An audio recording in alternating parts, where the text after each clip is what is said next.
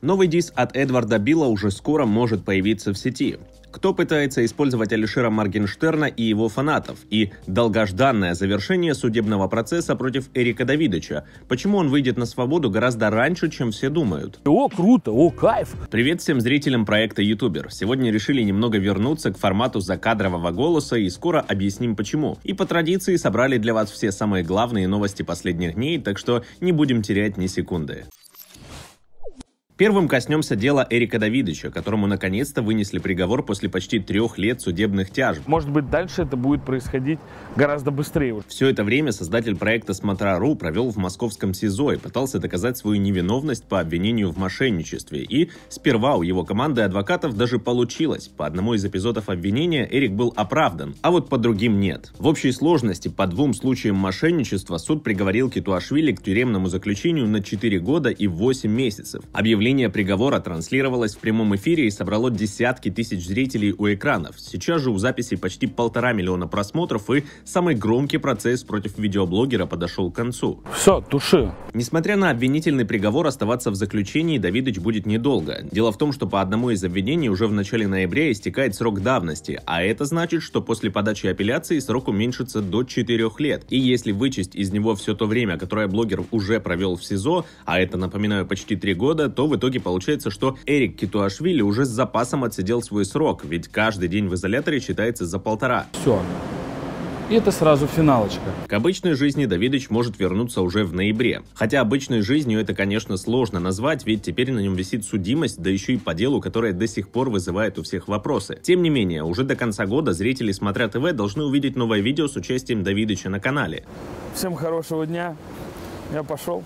Как думаете, продолжит ли он свою карьеру автоблогера или посвятит себя чему-нибудь другому? Ведь современный YouTube уже не тот, что прежде. Атмосфера тут гораздо напряженнее, и на каждом шагу тебя ждет очередная драма или разоблачение. Даже если взглянуть на наши старые ролики, сразу можно заметить, насколько другими были новости благосферы трехлетней давности. Кстати, я не зря вспомнил, с чего начинался ютубер, ведь буквально на прошлой неделе мы стали на еще один год старше. С октября 2015 года, когда канал был создан, много чего изменилось. Форматы, подход к работе над новостями и количество человек, которые их создают. У меня, например, появилась коллега и соведущая, Таня, которая сейчас в небольшом отпуске. К слову, для всех, кто спрашивал о причинах ее отсутствия, советую зайти к Тане в Инстаграм и все самостоятельно узнать. Уверяю, причина там очень веская и не менее радостная, с чем мы ее, кстати, и поздравляем. Также семья ютубера расширяется и в ней появляются другие проекты. Надеюсь, все уже знают о нашем втором канале Сателлит, где также выходят веселые ролики в формате новостей. Ну и, конечно же, наш наши подписчики и зрители, которые уже три года смотрят наши ролики. Спасибо вам за то, что поддерживаете проект, ставите свои лайки и остаетесь с нами. Впереди нас ждет еще много разных успехов и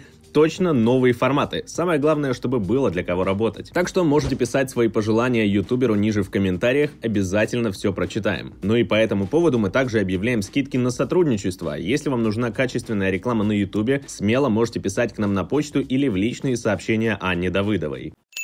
А тем временем Эдвард Билл, по всей видимости, собирается вернуть старый конфликт с Николаем Соболевым. Соболев тот еще Вот Соболев. Вот Соболев это завел сейчас, блядь. Соболев, даун. Пранкер поделился фрагментом своего нового видео на главного моралиста Ютуба. Не спрячет от вертухи, кирпичная стена чита Я пришел твою мою величие стирать это, к слову, уже не первый раз, когда Билл посвящает свои треки другим блогерам. Ранее парень выпускал песню, где по большей части пел про себя, но все же нашел пару строк, чтобы упомянуть Соболева и Афоню. Когда ты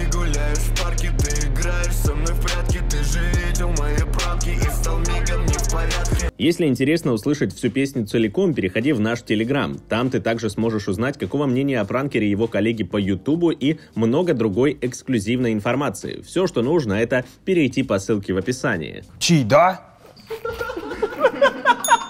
Несмотря на то, что YouTube еще на прошлой неделе открыл доступ к каналу Эдварда, новых пранков или обещанного интервью там так и не появилось. Возможно, это связано с тем, что на канале до сих пор висят страйки, а это значит, что публикация роликов становится недоступной на несколько недель. Но кто знает, возможно, парень просто выжидает подходящий момент, чтобы вернуться. Там все круто, это контент, я вижу, когда он начинает меня пиздить уже об пол головой. Ты только контент что ли думал? Да, я думаю, сейчас кон- все, контент пошел, типа, все, понеслась. Последнее громкое появление Эдварда Билла на Ютубе было относительно недавно, когда он снялся для нового ролика Моргенштерна.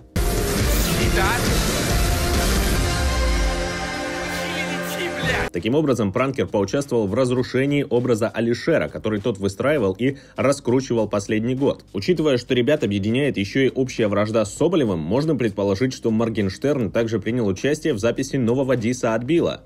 Историю делаем сегодня.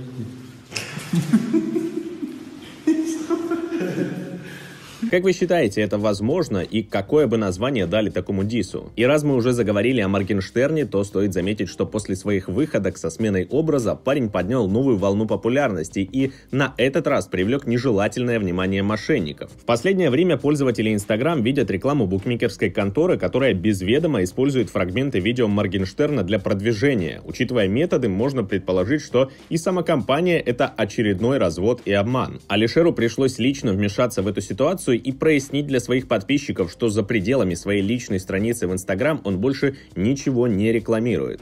Все А, чаще присылаете вы мне ссылки, как я якобы рекламирую какие-то там конторы и так далее. Нигде, кроме своей инсты, я ничего пиарить не буду. Кто использует мое лицо, те наглые. Скажите им это. К слову, с блогерами такие схемы прокручиваются не впервые. Месяц назад можно было увидеть рекламу шаурмы от ничего не подозревающего Руслана Усачева. А еще раньше Вилсаком и Данила Поперечный были замечены в рекламе точек по ремонту телефонов, о которой они и понятия не имели. Правда, случай Алишера отличается тем, что его вовлекают в настоящее мошенничество со ставками и пользуются его временным отсутствием в соцсетях. А насколько часто вы видите лица популярных блогеров в каких-то сомнительных рекламах и можете ли сразу распознать, что эти объявления фейковые и как необходимо бороться с такими видами обмана. На этом у нас все. Подписывайтесь, чтобы всегда быть в курсе самых главных новостей. С вами, как всегда, был проект YouTuber. Меня зовут Эрик. Всем пока.